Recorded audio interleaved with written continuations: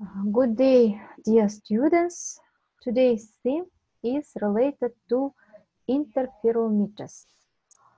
On last lecture, uh, we studied uh, interference, uh, the condition of interference, the uh, Fresnel uh, method for interference, and now uh, we will continue to interferometers.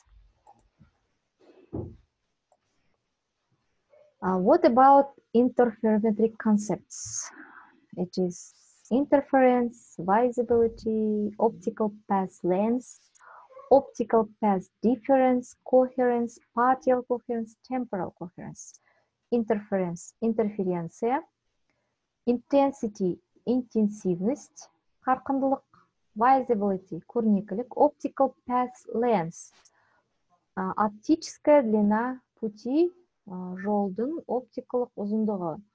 Оптикалық path difference жол айырымы coherence когеренттілік spatial coherence кеңістік когеренттілік temporal coherence уақыттық когеренттілік.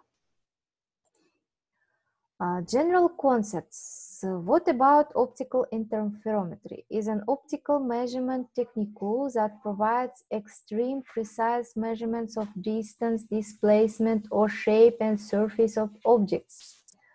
Оптикалық интерферометрия дегеніміз бұл денелердің арасындағы қашықтықты, ығысуды, олардың пішіні немесе беттерін өлшейтін оптикалық әдіс. Uh, the recent developments in laser fiber optics digital processing techniques қазіргі таңдағы бұл интерферометрия әдісінің дамулары бұл лазер а, жаңағы талшықтық оптика цифрлық әдістер applications ranging from the measurements of a molecule size to the diameters of stars. Оптикалық интерферометрияның негізгі қолданулары бұл молекулалардың өлшемдерінен басталып жұлдыздардың диаметрлеріне дейін жалғасады. Light waves бұл жарық толқындары туралы Ә, сіздер білесіздер жа- жарықтың негізгі сипаттамалары келтірген толқын ұзындығы ә, өлшем ә, жаңағы жылдамдығы тағы да басқа. Interference. Қайталап кетейік. What about interference is a light phenomenon? It can be seen in everyday life. For example, colors of oil film floating on water, you see. Интерференция дегеніміз бұл жарық құбылысы бір неме, екі немесе одан да көп толқынның шағылуы кезінде пайда болатын құбылыс. Мысалы, мына суретте сіздер суға тамған майдың тамшысы осындай ә, бейнеге ие болып тұр себебі мұнан шыққан сәулелер интерференцияға ұшырап осындай ә, сурет бейне көрінеді In electromagnetic waves, interference between two or more waves is just an addition or superposition process. It results in new wave pattern. Электромагниттік толқындарда ә, электро, интерференция нәтижесінде жаңа бейне пайда болады. Uh, superposition of two waves. Uh, you see uh, the formulas of superposition мына суретте мына презентацияда сіздер екі толқынның қосылғанда пайда болған ә, суретті көріп тұрсыздар. Optical path length uh, оптикалық ұзындық басқаша айтқанда. Uh, when light beams travels in space from one point to another, the path length is a geometric length d multiplied by n.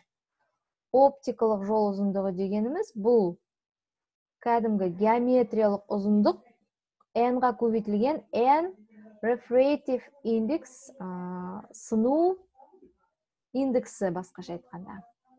light beam travels in different mediums will have different optical pace әрине әртүрлі орталарда тараған жарық сәулелерінің оптикалық ұзындығы да әртүрлі болады. Себебі әртүрлі орталардың сыну көрсеткіші де әртүрлі болады.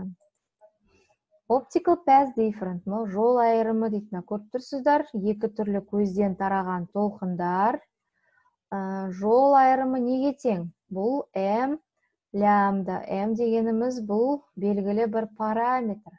Лямда дегеніміз толқын ұзындығы. Егер бізде өздеріңіз білесіздер м максимум мен минимум шарты бұл м-нің жалпы оптикалық жол айырымынан байланысты.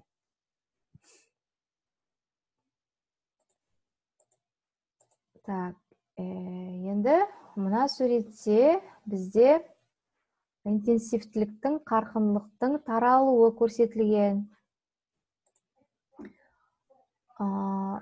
Мұнда да таралуы көрсетілген. Coherence uh, we studied about coherence. Coherence of light is defined as a correlation between the electric field at different locations or times. The coherent light source is able to produce a coherent waves. Интерференцияға ұшырау үшін толқындар бір бірімен когерентті болу керек. Когерентті дегеніміз мысалы мында анықтамасы тұр. Ideal coherent source is a source with one wavelength, only monochromatic, which doesn't exist in practice. Интерференцияға ұшырау үшін бұлар екі көзден шыққан. Толқындар бір ұзындықта болу керек. Бірақ бұл күнделікті өмірде мүмкін емес. Басқаша айтқанда монохроматты. Practically, there is no fully coherent light or fully incoherent light, but there are light sources with different coherence degree. Кәдімгі өмірде толықтай когерентті немесе толықтай когерентті емес толқындар болмайды, бірақ олардың когеренттілік деңгейі әртүрлі болады. Spatial coherence, temporal coherence бұл туралы біз алдыңғы сабақта өттік. Бұл тек қайталап кетейік мысалы the degree of correlation same way front at the same time temporal coherence to the wave train length monogrammatic source such as laser have a high degree of temporal coherence Бұл фазалар айырымымен толқын ұзындығына байланысты болып келеді Interferometry refers to family of techniques where waves superimposed to extract information about the waves.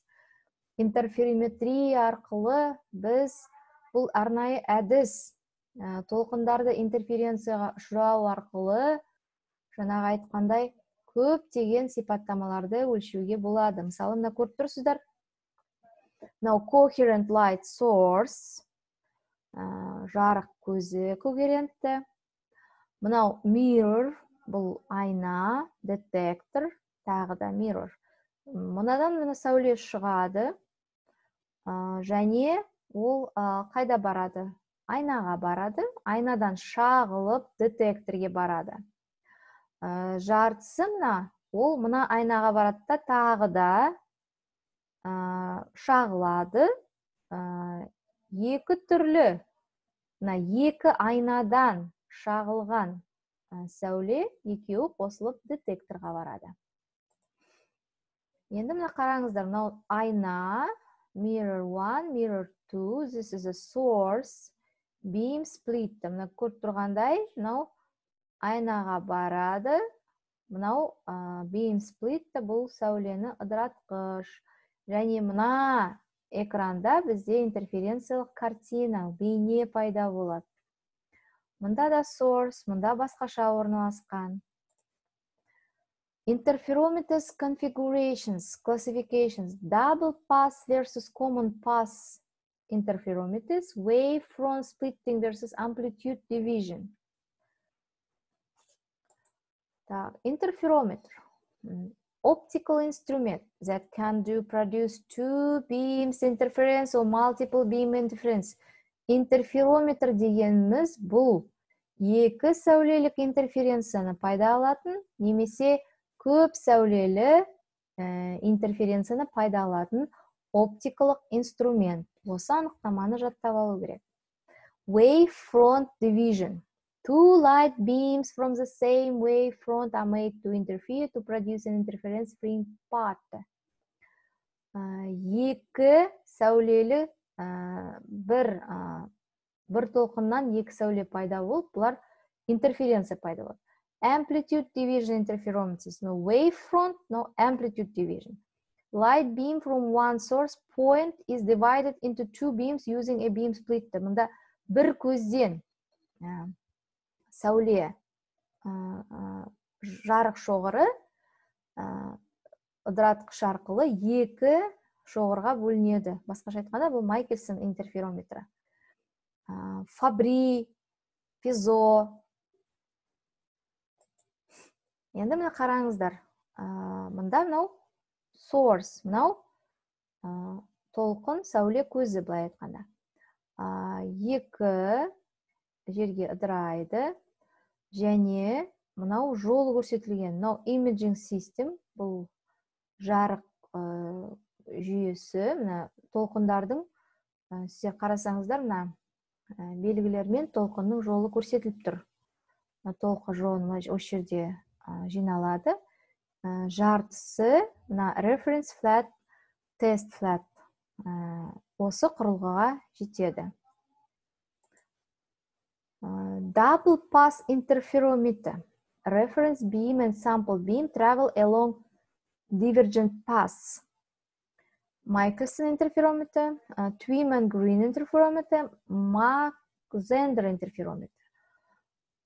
Common pass interferometer, double pass, екі жолды интерферометр, common pass, бір жолды, жалпы жолды интерферометр бұған жататын сагнак и френель бипризмасы біз өттік қой бипризма френелі.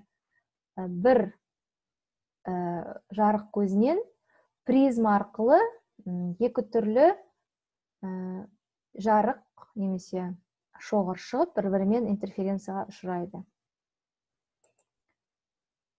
Мынау тағы да бір интерферометрдің құрылғысы.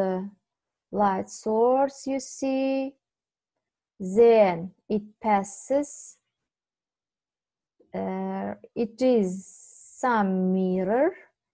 It is incident rays and it is reflects to the mirror. Uh, second time reflects. Көріп тұрсыздар ғой мынау айналар мына көлбеу тұрған бұл айналар мысалы мына жарық көзінен айнаға түседі шағылады. Шағылған жарық тағы да екінші айнаға түседі одан тағы шағылады. Одан тағы түсіп болған тағы шағылады да уже экранға түседі. Көріп тұрсыздар ғой? Экранға уже бізде бірнеше мәрте шағылған сәуле келіп тұрады. Оның бәрі бір жарық көзінен шығып тұр. Майкельсон интерферометр consists of a coherent light source. Coherent light source you see beam split beam split this is a bs it is bm beam split шоғырды бөлуші a reference mirror a movable mirror and a screen. Так қозғалмалы айна және экран. Бұл майкельсон міне жарық көзінен түседі. Және шағылады жартысы өтіп кетеді мына айнадан тағы шағылады. И және экранға екі түрлі жарық түсіп бір бірімен интерференцияға. Applications there are many measurements that Michelson interferometer can be used for absolute distance measurements optical testing measure gazes refractive index. Michelson интерферометрі не үшін пайдаланады? Бұл абсолютті қашықты өлшеу үшін оптикалық тестке және газдардың сыну көрсеткішін өлшеу үшін work method The BC divides the incident beam into two parts. One travel to the reference mirror here, other to the movable mirror here. Both parts are reflected back to BS. You see, reflect, you see, reflect. And recombine to form the interference fringes on the screen. Мына бұл мына сәуле ыдырау барады шағылады. Екіншісі қозғалмалы айнаға ол да шағылады. Екеуі қайтадан мына беске қайтадан келеді де одан екі түрлі сәуле шығады. Бұл майкельсон интерферометрі. Twyman green interferometer modified configurations of Michelson interferometer applications lens measurements optical testing. Бұл ұзындық ұзындықты өлшеу үшін пайдаланады көбінесе. Мында да екі түрлі жарық көзінен шығады. Мұнда линза пайдаланады. Линзадан бізде өтеді бөлуші құралға барады. Мұнда да майкельсон марли интерферометріне ұқсайды бірақ мұнда өздеріңіз көріп тұрғанда коллиматорлық линза фокустайтын линза пайдаланылады Applications in science and industry for measurement of small displacements, refractive index changes, surface irregularities, physics, astronomy, engineering and applied, biology and medicine. Өздеріңіз көріп тұрғандай, интерферометрлер бұлар көбінесе қашықтықты өлшеуге, сыну көрсеткішін өлшеуге және беттердің әртүрлі беттерді өлшеуге пайдаланады. Физикада астрономияда жаңа айтқандар жұлдыздардың диаметріне шейін өлшеуге пайдаланады. Инженерияда биологияда және медицинада пайдаланады. Көп рахмет. Сұрақтарыңыз болса форумда қоюға болады. Әрқашан жауап беруге дайынбыз. Кері байланысқа. Tá alguns.